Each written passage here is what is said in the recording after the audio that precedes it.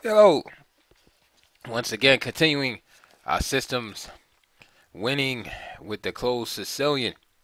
And uh, we are almost at the end of our extensive playlist in this opening. Again, if you're new uh, to these videos, I have all of the major systems covered in the closed Sicilian. Uh, from White's perspective, if you're uh, interested in um, adding this uh, opening to your repertoire.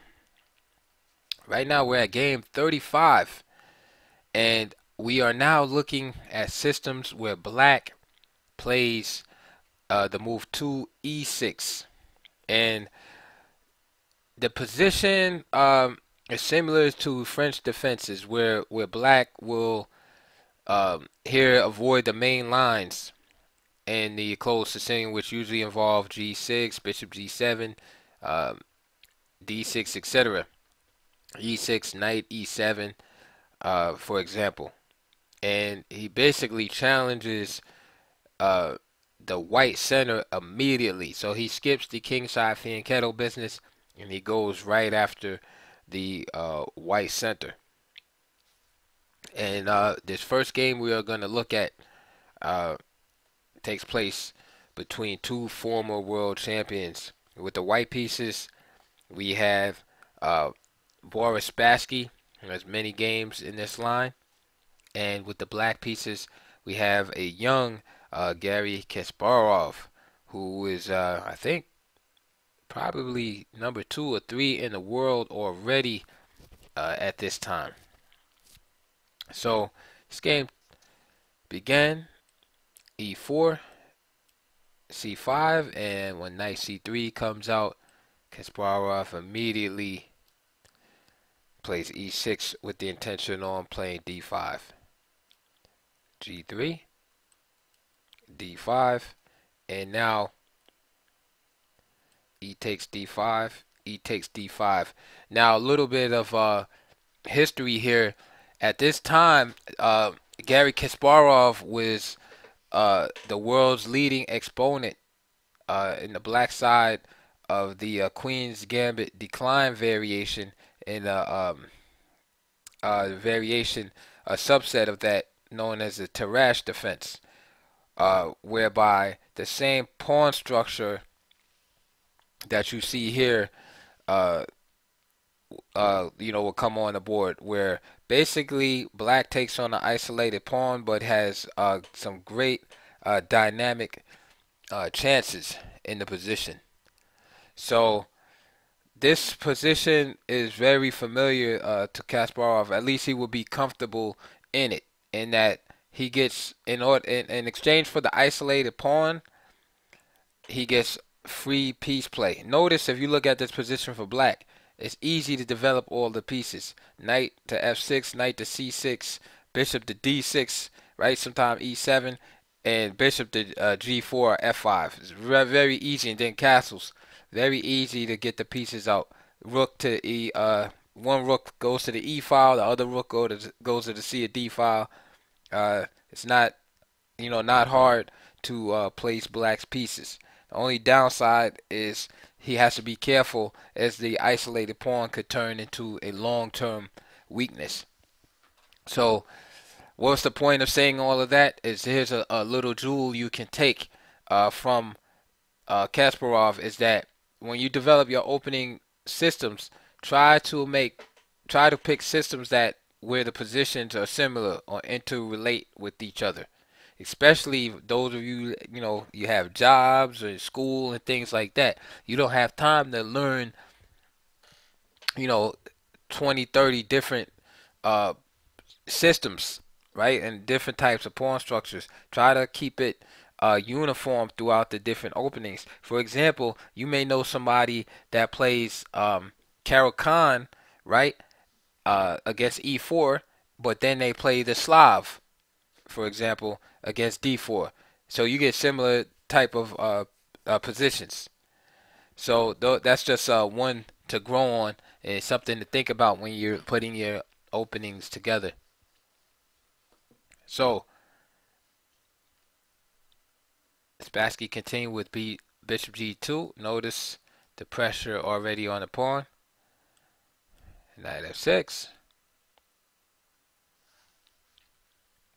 Um, if d4, instead of defending if d4, then simply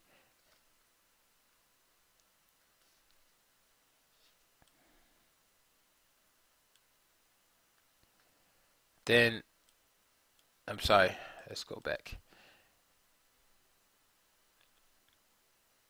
So at this here, if the move d4 instead of knight f6,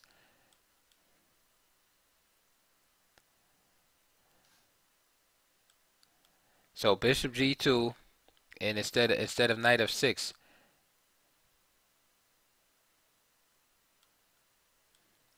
see d4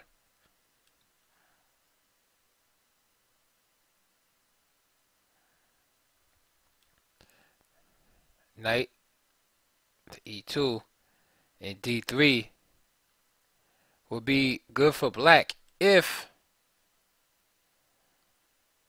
and that's a big if white didn't just have the simple move queen e2 when the knight could just go to d5 or e4 so just something to think about. So knight f6 knight g to e2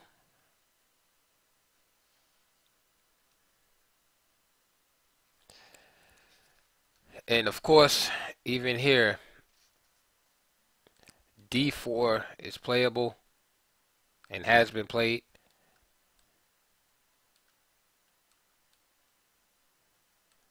and these are the dynamic positions that I'm talking about with black so although black has an isolated pawn he is by no means worse here. Again, in exchange for the isolated pawn, he gets easy, easy play for his pieces. All right, it's very easy to figure out where the pieces go in in these type of positions. So for instance, d4, knight drop here.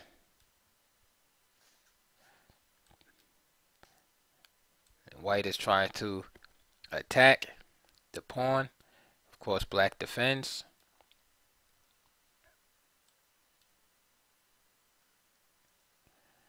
And so this was actually be, uh, a game from a game between Duncan Suttles, Canadian GM or uh, international master rather um, at the time, versus uh, Tal with the black pieces. And again, just illustrates the placement of the black pieces. All right, and then Tal played this move h6.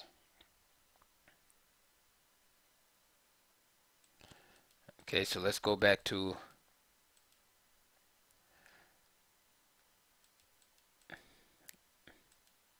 our position here. So this is why d4 is avoided here by Spassky. Instead, he continues to develop. He doesn't want to start a fight yet and try to um, attack an isolated pawn because you've seen how active black's pieces uh, got there. So after knight g2 though, black has this option playing d4. And by playing d4 early like this, this stops white's plan of just um, ganging up on an isolated pawn. Alright, because now white can't play d4. So knight e4. Now he takes, takes, and now bishop d7. All right. I'm sorry, not bishop d7. Knight to d7, where this knight is just going to go here to f6 and control these squares. Castles, knight here, bishop back to g2, bishop d6, and now c3.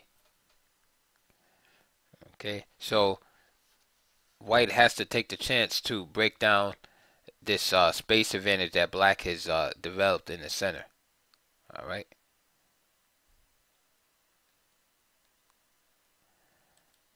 Now,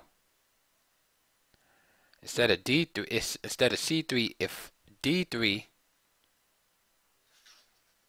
Then the game could have followed these lines. Castles, bishop f4 here, bishop g4, takes, takes, h3, bishop back to d7, knight f4, rook f to e8, queen d2, bishop c6, rook a e1, and knight d7. And that's equal. And that that's from, from the game Spassky Korchnoi from the Soviet Championship in 1968. Okay, so Spassky, having played that game, he decided that C3 gives him more uh, chances. Here's just it's just equal. So instead of uh, D3 there, he played the move C3. Kasparov played D3. Of course, castles is possible, but then C takes, C takes, and D3. And this bishop is very strong at this point. So give it gives um you know white a little little something to, to chew on here, especially with maybe the queen coming here, and then both sides having these weak pawns, but blacks is a little more vulnerable, right? As moves like b3 and bishop b2 can be played.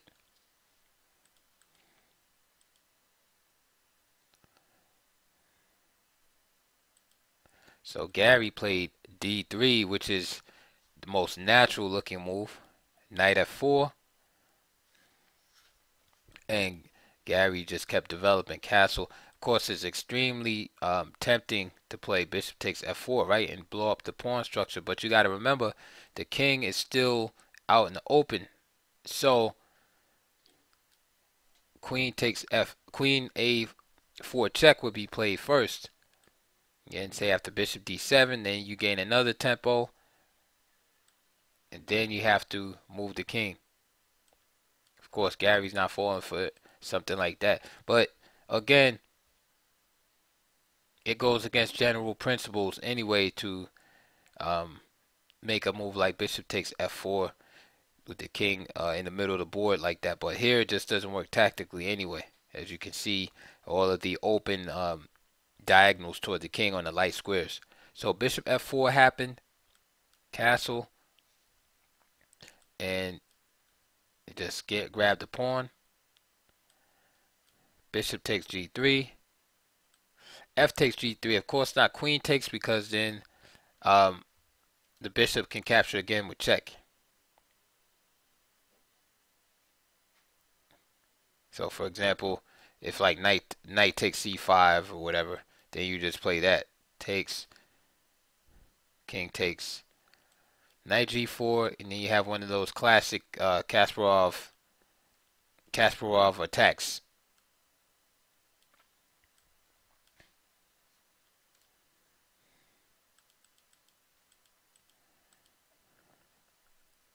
So f takes, queen takes, and it's funny because this position right here reminds me of uh, what is it? Um, uh, Paul, um, was it Morphy? No, Paulsen Morphy, where Morphy played the uh, famous uh, Queen Queen D3, and he he wound up beating uh, uh Paulsen. I think I think that's the uh, game where where he had the same pawn situation here. So Queen D3, this forces White's hand. You have to get rid of this bind here. So queen f3. And queen takes f3. Now, I know everybody wants to play this move, so I have to go over it. Because this is the move you would like to play if it worked out uh, tactically. But after queen takes, rook takes c3, the problem is, is uh, rook e1, and then black I mean, white can bail out with bishop f1 hitting this square right here. And then white will play d3. And I don't think black has enough compensation to, you know, to give up the exchange there. But that's something you could check out. But uh, Kasparov didn't believe he had enough uh, compensation there. So, queen f3, queen takes f3. Bishop takes f3. Bishop h3. Spassky went for it. Bishop takes b7. The reason why he did that is because after this, bishop g2, which is kind of passive, then just bishop takes. And then, oops, I'm sorry. And then it's black again with the same idea of coming down here, here, and just having, you know, just a better game uh, overall. So he went for it. Bishop takes b7. Rook a e8. And then he just simply played bishop g2. Takes, takes, check. Rook f2. Black takes over the the e file. b3. And so again, assessing this position, you can see Spassky is a pawn up, but his position is worse. All right. So black has the more active pieces, and this fully compensates for, uh, as you can you know look at the board. This fully compensates for uh, white being up pawn. Black has full compensation. All right. I would rather be uh, black here. So again, position over material. So this is why B3 is played in order to bring um, you know some life into the white uh, position here. Okay.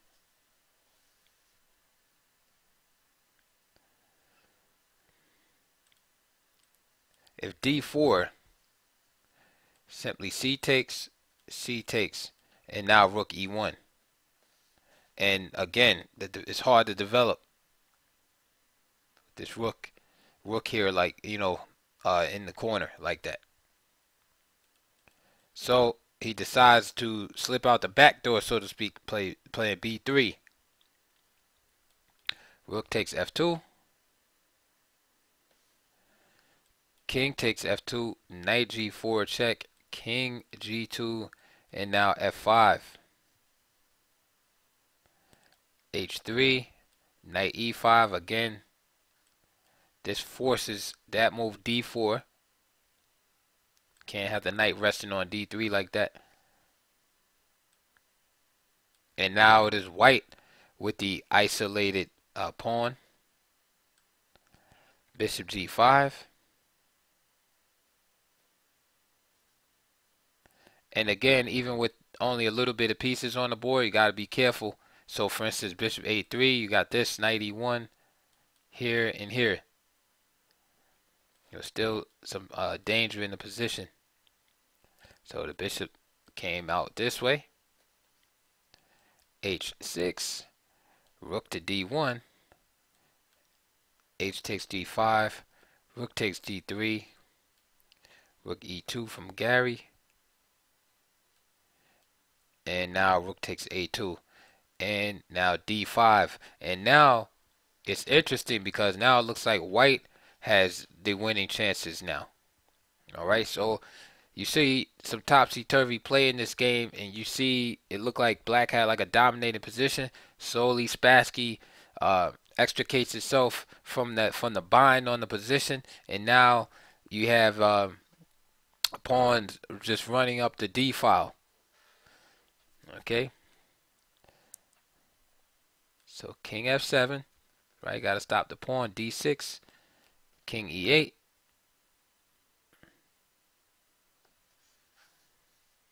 and the players agreed uh, to a draw here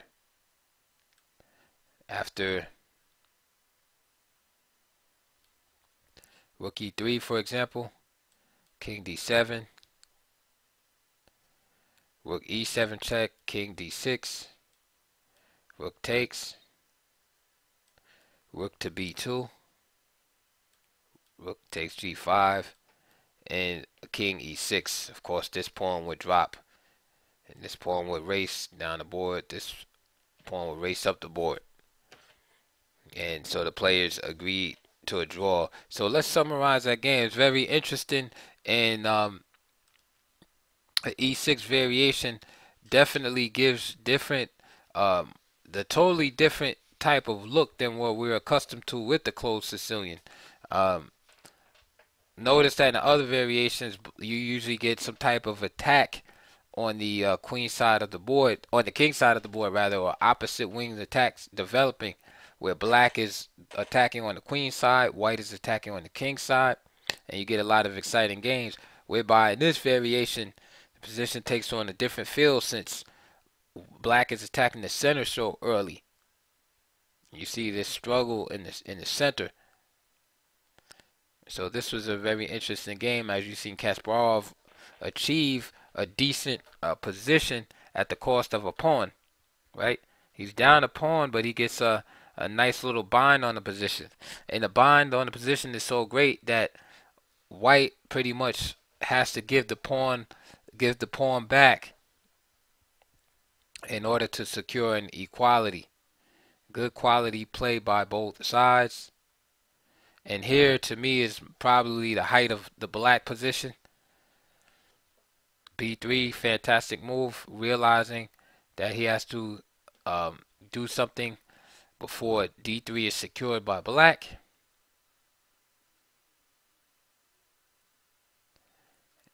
And now he liquidates down. And of course, Kasparov is in time to secure uh, the draw in this position. So uh, 2e6 is definitely uh, interesting variation for uh, for black. Um, it's something that I will play, and of course, if the uh, soon-to-be world champion at the time is playing it, uh, it's definitely uh, something that you should look into. So that was a great game. Uh, again, please like and subscribe. Comments are welcome. Check the links below. And for those that are just seeing this for the first time, there's a whole entire playlist dedicated to just the closed Sicilian where I uh, cover all the major systems. Um, and we're looking at it from a White's perspective. So I hope you enjoyed this. And if you're interested in this opening, pursuing it, and adding it to your repertoire, just check the playlist. Check the links below. The uh, actual book that this uh, commentary is loosely based on is, is in there. Also, DVDs related uh, to the opening and also the donation uh, link. And um, that would be great, greatly appreciated and graciously appreciated also. So, we'll be looking at some more games uh, in this particular system. Uh, so, stick around and I'll see you soon.